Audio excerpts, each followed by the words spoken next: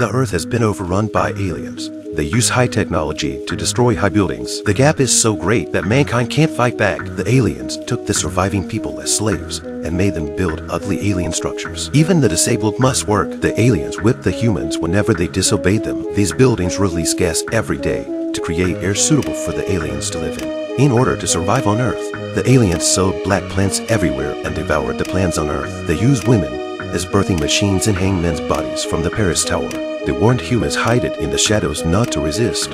What the aliens didn't know was that the people had already formed a private resistance. One day, in the midst of the fighting, the humans shot down an alien ship for the first time. This gave the people in the darkness a glimmer of hope. The captain rushed his men to the crash site. When they arrived at the site, an alien was just crawling out of the rubble. Seeing the heavily armed humans, the alien was ready to run away, but it didn't get far before the humans caught up with it. The alien is cornered by the humans' fierce attack